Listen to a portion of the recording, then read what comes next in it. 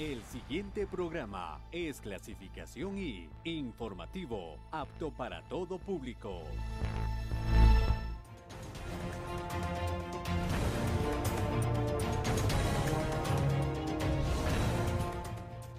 Amigos, amigas televidentes, muy buenas noches. Como siempre, gracias por acompañarnos a esta hora en la emisión estelar de su noticiero ciudadano. Bienvenidos y bienvenidas a todas las personas que nos miran a través de la señal de Tele Ciudadana, canales 48 y 49 a nivel nacional. También les recordamos que puede seguir nuestra transmisión en vivo a través de www.elciudadano.gov.es y en nuestras redes sociales dentro y fuera del país. Bienvenidos y bienvenidas nuevamente. Iniciamos con la revisión de los titulares.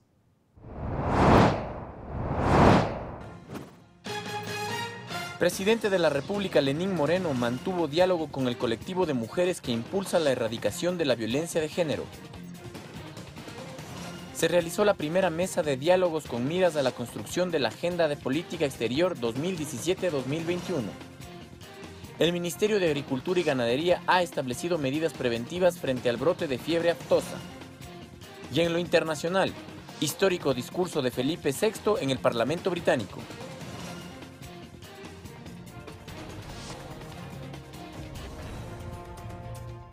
Iniciamos contándoles que esta mañana en el Palacio de Carondelet, el presidente de la República, Lenín Moreno, se reunió con el colectivo de mujeres que impulsa la erradicación de la violencia. Veamos algunas intervenciones de este encuentro. Debemos apoyar y fomentar la educación no sexista para que comience desde nuestros hogares. En la misión Casa para Todos formaremos hogares pacíficos, donde el maltrato y la violencia ya no estén naturalizados.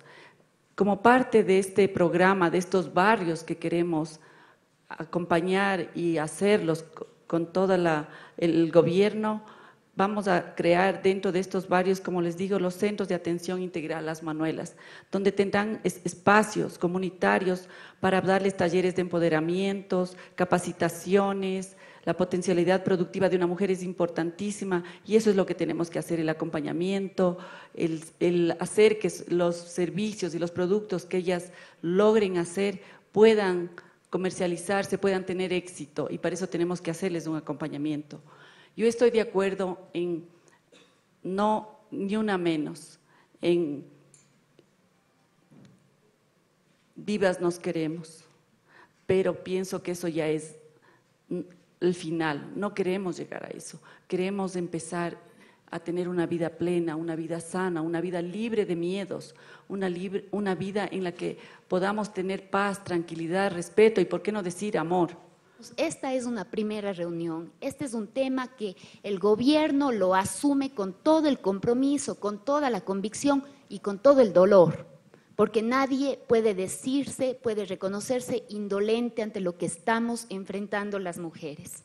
Este que sea un espacio para, para escucharnos, para comprometernos más todavía, hay algunas acciones que se han implementado, no serán nunca las suficientes, pero son acciones que también hay que aprender a desarrollarlas y a utilizarlas líneas de auxilio, la presencia de las defensorías públicas para atender a las víctimas, la presencia de fiscales con visión, con enfoque de género para atender y para iniciar las acciones legales, la propuesta integral de un plan para la erradicación de violencia que ahora no solamente bajo la rectoría del Ministerio de Justicia, sino también con el apoyo de la misión Toda una vida, como decía Rocío, toda una vida libre de violencia todos los días trabajamos por una vida libre de violencia para las mujeres.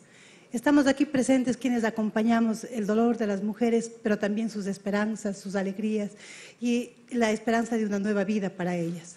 Estamos aquí tomándole su palabra y su invitación porque estamos convencidas de que solamente unidas y que solamente unidas nosotras y que unidas con, el gobierno, unidas con los poderes, con quienes toman las decisiones, realmente podremos lograr algo por las mujeres. No solamente podemos paliar los dolores de, de las compañeras que están. En este mismo momento, alrededor de 40 mujeres están en las casas de acogida. Como 200 niños y niñas están en una casa de acogida, huyendo de la violencia quienes necesitan realmente y tienen la esperanza de tener otra vida. Estamos aquí luchando por eso, estamos trabajando conjuntamente y esperamos y, reanudamos nuestro compromiso de vida, porque estamos aquí quienes realmente hemos hecho un compromiso de vida y, a pesar de, lo que sea, ¿no? con el gobierno o, muchas veces sin ellos, hemos estado aquí todo el tiempo. Parecería que eso es la mujer, una porcelana que se ha vuelto un ser vivo, a la cual hay que tratarle como tal, como un objeto preciado, como un objeto precioso Perdón por, perdón por término objeto. Y a los hombres no deberíamos siquiera manejar, no, sé, será porque no encontré otro concepto a la mano. Sí, esa es la idea, esa es la idea. El trato de una porcelana preciada, preciosa, que se ha convertido en un ser espiritual que, como los había dicho, bastante mejor que todos los demás. Ahora sí al discurso. Bueno, yo quisiera iniciar con unos datos que realmente espeluznan. Ya lo han mencionado ustedes. 73 femicidios el año pasado. Eso significa un promedio y una compañera mencionaba el tema de que este día serán violadas, este día, este día serán violadas cuatro niñas. Espeluzna. Y significa, los femicidios significan en esa cifra un promedio de, de uno cada cinco días. Y hasta junio pasado, hasta junio pasado ocurrieron 76 femicidios. Es decir, se duplicaron. Ahora existe un femicidio cada dos días y medio aproximadamente. De manera unánime con 128 asambleístas presentes, el Pleno de la Asamblea aprobó una resolución que rechaza los actos de violencia en contra de niñas, adolescentes y mujeres del Ecuador. La asambleísta proponente de la resolución que rechaza todo tipo de violencia en contra de niñas, adolescentes y mujeres del Ecuador, Mónica Alemán, argumentó que las manifestaciones sexistas y los índices de femicidio son algunos de los hechos que han naturalizado la violencia de género en una sociedad machista. Por ello, dijo, es fundamental que se trabaje de manera coordinada para prevenir hechos lamentables y desmontar estereotipos. Pues es un marco amplio, es una realidad que afecta también a niñas, adolescentes, mujeres trans. Asimismo, la asambleísta Dayana Pazley manifestó que se necesita voluntad política para erradicar la violencia. Por eso sugirió que se retomen las leyes que nacieron para proteger a las mujeres. Allí, por ejemplo, dijo que se deberían regresar las comisarías de la mujer. A las mujeres nos agreden por opinar, por transgredir cualquier tipo de norma, por nuestro aspecto, por cómo nos vestimos, por salir a la calle. De su parte, la asambleísta Mae Montaño precisó que es necesario reformar el Código Orgánico Integral Penal con el fin de mejorar el acceso a las mujeres a la justicia y además propuso poner en la palestra de debate la autonomía económica como un tipo de violencia. Pero es que una mujer que tiene autonomía económica está en mejores condiciones de lidiar con los problemas de violencia doméstica. Dayan Rodríguez describió las diversas formas de violencia por las que tienen que pasar la comunidad LGBTI. Por ello pidió que se tome en cuenta también los asesinatos de mujeres sexualmente diversas. Se incluye la categoría femicidio para mujeres trans y mujeres lesbianas. El presidente de la Asamblea Nacional, José Serrano, reconoció que aún falta por trabajar de manera coordinada entre todas las funciones del Estado para erradicar la violencia de género. Sin embargo, dijo, desde el legislativo se requieren acciones inmediatas. Aquí es donde efectivamente el debate sobre el tema de género debe implementarse de manera transversal absolutamente toda la normativa todo el control político. Por ello, el documento determina que en un plazo de 30 días la Asamblea Nacional trabaje en un proyecto de ley contra todas las formas de violencia.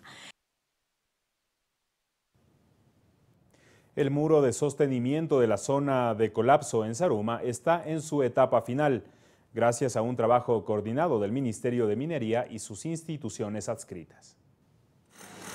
El muro de sostenimiento que se construye en la zona de colapso en la Escuela Fe y Alegría en la ciudad de Saruma, provincia del Oro, se encuentra en su etapa final. Este proceso se da una vez que finalizó el levantamiento de las tres estructuras de hormigón que dan sostenimiento a la zona afectada.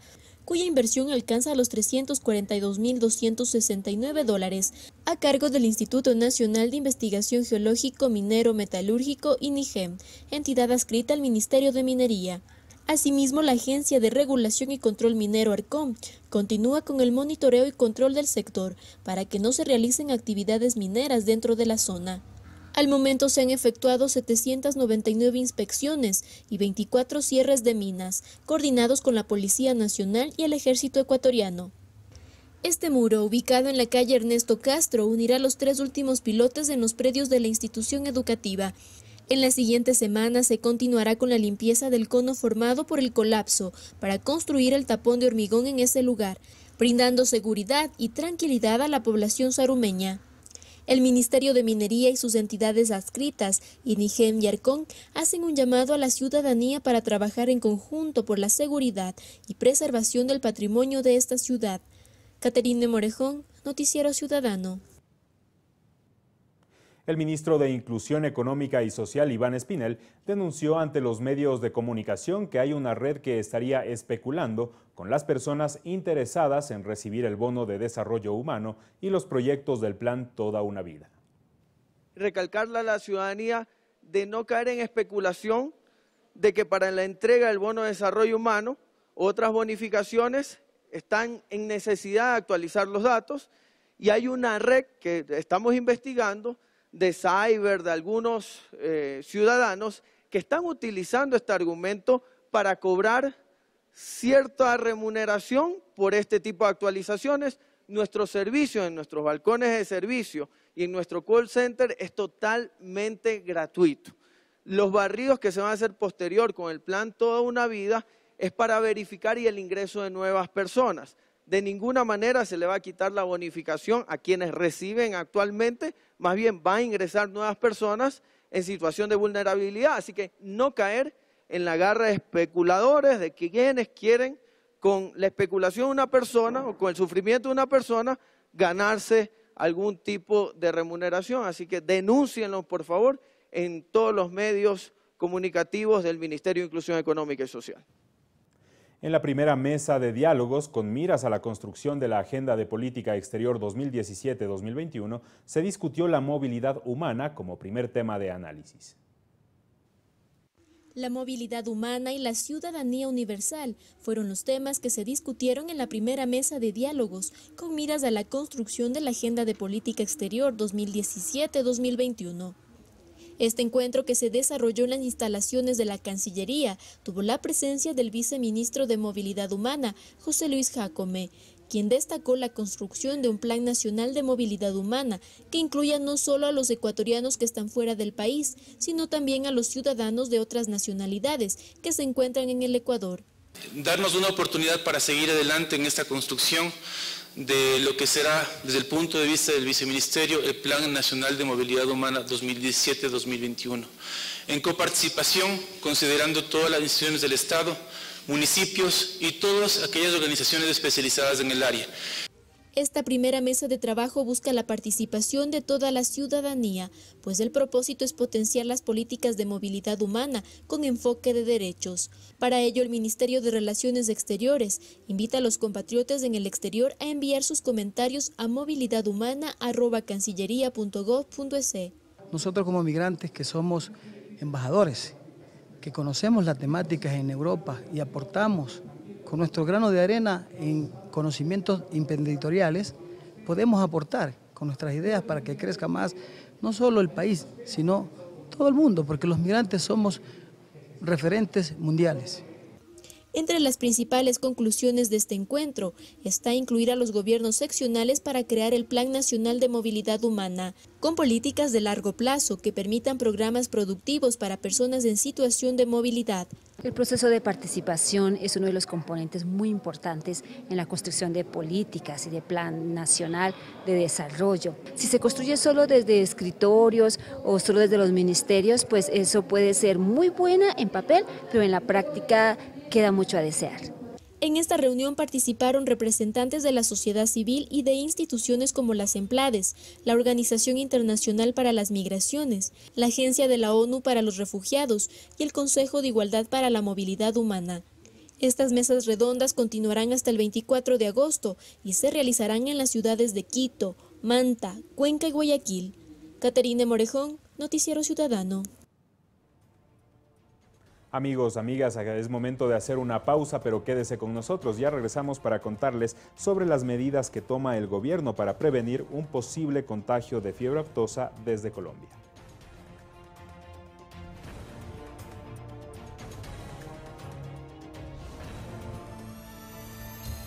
Inicio de espacio promocional. La temporada de observación de ballenas inició en Ecuador. Sé testigo de uno de los eventos más extraordinarios de la naturaleza, la llegada de las ballenas jorobadas, que cada año viajan a las cálidas costas ecuatorianas. Para vivir esta maravillosa experiencia, que es un espectáculo de sobrevivencia, visita las playas de El Oro, Santa Elena, Manabí y Esmeraldas. Viaja con tu familia y amigos y enamórate de las danzarinas del mar que llegan a Ecuador de junio a septiembre de cada año. Ingresa a la página www.viajaprimeroecuador.com.es y adquiere tus paquetes. Viaja seguro con operadoras autorizadas y embarcaciones seguras. Viaja primero Ecuador. Fin de espacio promocional.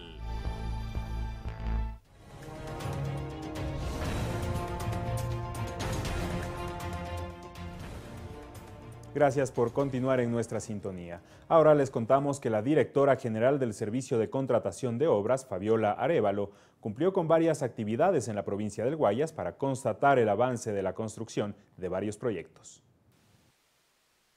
El compromiso del Gobierno Nacional con la salud y educación se evidencia en cada una de las infraestructuras que el Servicio de Contratación de Obras, SECOP, ejecuta en todo el territorio. Con este objetivo, la directora general del SECOP, Fabiola Arevalo, en compañía de las autoridades de la Coordinación Zonal 8, supervisó el terreno en el que se levantará el Hospital General de Durán en la provincia del Guayas. Esta casa de salud contará con 120 camas y beneficiará a miles de ciudadanos que podrán acceder a servicios de calidad.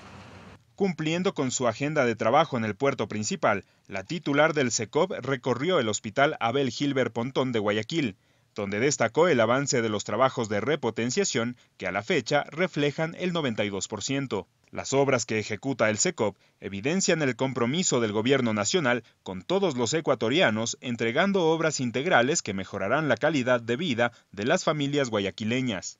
Luis Andrade, Noticiero Ciudadano. Uno de los cantones de la provincia de La Suay se postula a la red de ciudades creativas de la UNESCO 2017. Se trata de Chordelec, en donde la mayor parte de sus habitantes se dedican a actividades artesanales. El cantón Chordeleg, ubicado en la provincia de La Suay y conocido por su tradición artesanal y creatividad en alfarería, orfebrería, tejido de paja toquilla y calzado, es el único cantón de Ecuador que se ha postulado a la red de ciudades creativas de la Organización de las Naciones Unidas para la Educación, la Ciencia y la Cultura UNESCO 2017.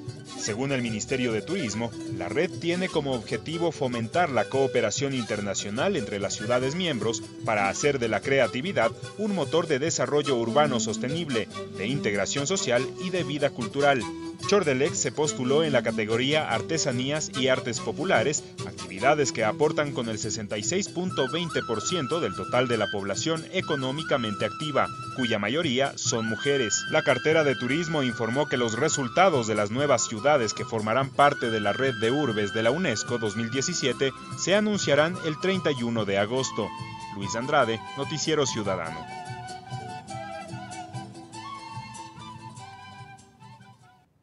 Cambiamos de tema. El Gobierno Nacional, a través del Ministerio de Agricultura y Ganadería, ha establecido medidas preventivas frente al brote de fiebre aftosa desatado en Colombia. Entre ellas se mantiene la prohibición de la importación de la llamada mercancía pecuaria, así como el inicio de una campaña de vacunación. En el año 2015, Ecuador logró la certificación de país libre de fiebre aftosa por parte de la Organización Mundial de Sanidad Animal. Logrando así la exportación de cárnicos y lácteos a varios países. Para mantener esa certificación, el Gobierno Nacional, a través del Ministerio de Agricultura, ha establecido medidas preventivas frente al brote de fiebre aftosa desatado en varios departamentos de Colombia. Ecuador prohibió el ingreso temporal al país de toda mercancía pecuaria, es decir, animales vivos de todas las especies susceptibles, productos y subproductos de origen animal, así como el inicio de una nueva campaña de vacunación en las provincias de Sucumbíos, Carchi, Imbabura y Esmeraldas. La Agencia Ecuatoriana de Aseguramiento de la Calidad del Agro informó que no se reportan casos de fiebre aftosa en el país y ratificó que Ecuador se mantiene como país libre de la enfermedad. La restricción temporal se aplicará hasta que la Organización Mundial de Sanidad Animal notifique que se han cerrado todos los eventos de fiebre aftosa y Colombia haya recuperado su estatus sanitario como libre de la enfermedad. La fiebre aftosa es una enfermedad altamente contagiosa que afecta a bovinos, cerdos, ovejas y cabras. Se caracteriza por el aparecimiento de fiebre y úlceras en forma de ampollas en la lengua, labios, boca, ubres y pezuñas del animal. Como consecuencia de esta afectación, se genera baja producción de leche y carne, y por ende pérdidas económicas para los productores. Luis Andrade, Noticiero Ciudadano. Revisamos otros temas. La CENESID se reunió con rectores de universidades públicas de todo el país para definir acuerdos que permitan ampliar la oferta de cupos con el objetivo de definir acuerdos para ampliar la oferta de cupos. El secretario de Educación Superior, Ciencia, Tecnología e Innovación, Augusto Barrera, se reunió con los rectores de las universidades públicas del país. En el encuentro, el secretario presentó los objetivos y la política de educación superior, enfocada en generar más oportunidades manteniendo la calidad del sistema. Entonces, esta gran primera línea debería ser fortalecer las instituciones y demandar de ustedes también el mejoramiento y la diversificación de la oferta. En esta reunión se planteó definir una ruta de trabajo para atender las necesidades inmediatas del país, como la de ampliar la capacidad de admisión en las universidades y escuelas politécnicas. Hemos logrado, creo que en casi todos los casos, optimizar al máximo la propuesta de la oferta que van a hacer las universidades para este propio semestre. Hagamos la mejor oferta que podemos hacer a los chicos. Nosotros vamos a comprometernos para con ustedes tener el mejor proceso eh, para hacer la postulación y la admisión. Cabe recordar que este encuentro se suma a este proceso de diálogo que mantiene la CENESID con varios actores del sector educativo, pues a criterio de Barrera, la transformación efectiva del país no es posible sin el acompañamiento de la academia. Al finalizar esta reunión, el secretario de Educación Superior se comprometió a seguir visitando las universidades, con el fin de marcar una agenda de trabajo con las autoridades. Caterina Morejón, Noticiero Ciudadano. Amigos, amigas televidentes, hacemos una nueva pausa, pero quédese con nosotros, ya regresamos con las noticias internacionales.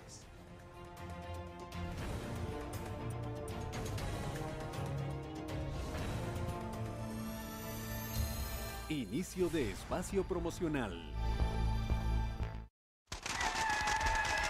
Guayaquil. Bienvenido. 97.7. Te damos la bienvenida la, señal, de Ciudadana FM. Ciudadana FM. La radio de todos. La radio de todos.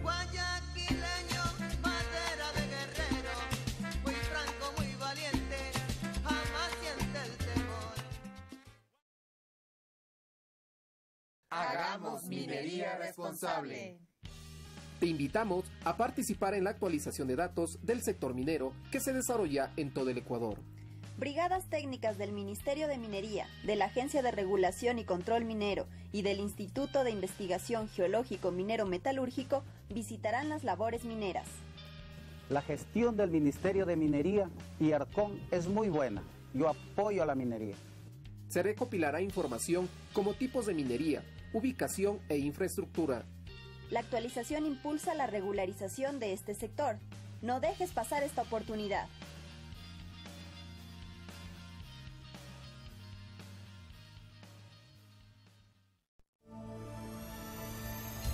Fin de espacio promocional.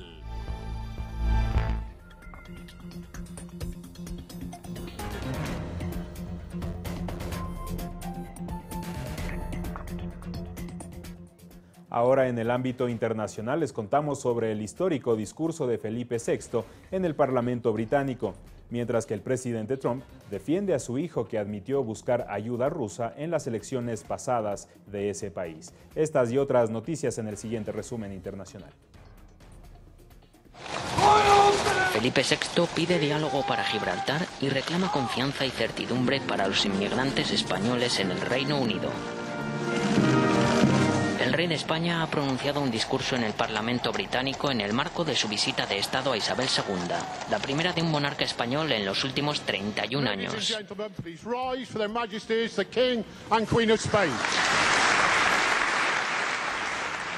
En su intervención ha tenido un papel destacado la cuestión del Brexit.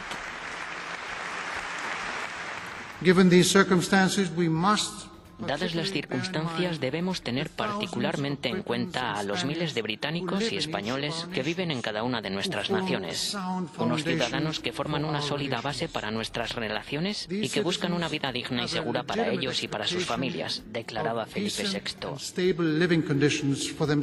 Por lo tanto, exhorto a nuestros dos gobiernos a seguir trabajando para garantizar que el acuerdo sobre la retirada del Reino Unido de la Unión Europea proporcione suficiente certeza y seguridad, añadía.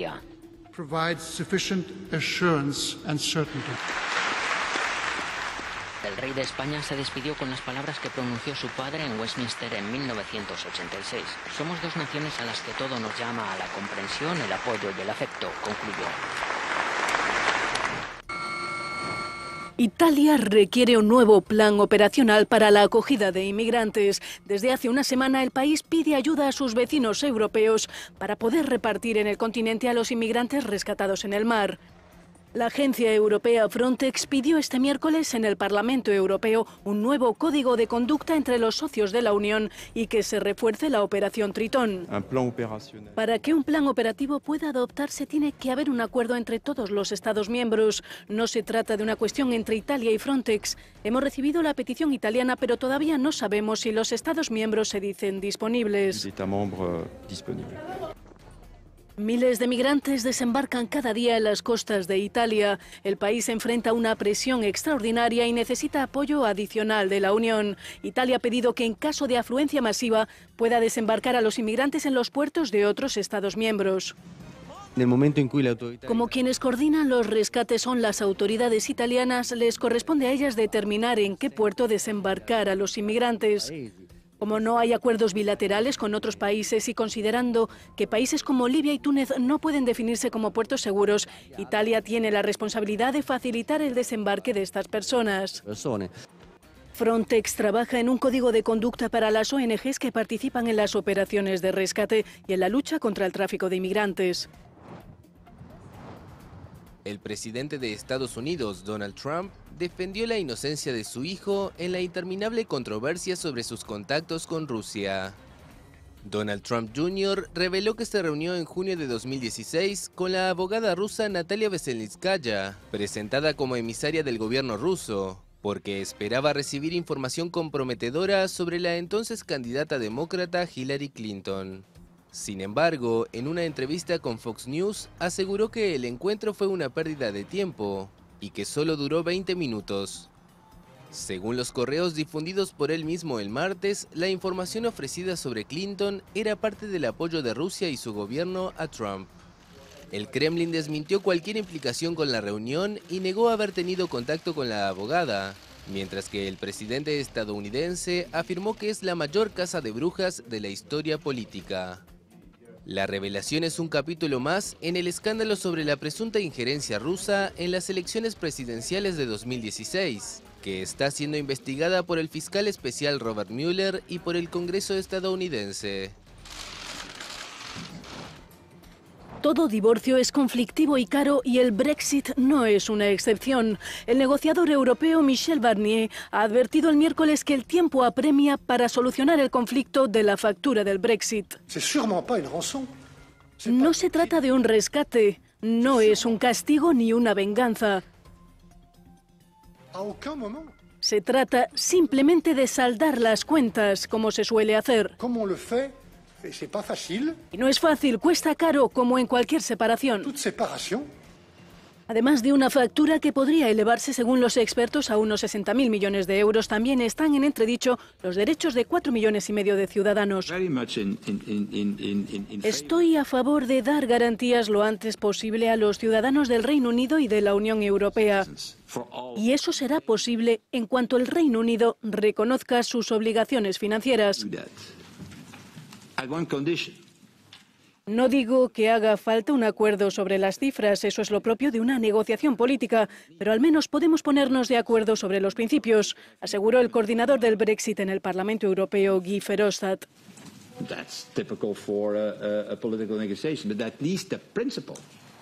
Aparte del coste financiero y de los derechos ciudadanos, el tercer punto espinoso a resolver es el impacto del Brexit en la frontera con Irlanda. Amigos, amigas televidentes, de esta manera llegamos a la parte final de la emisión estelar de su noticiero ciudadano. Conmigo será hasta el día de mañana. Que tengan una excelente noche.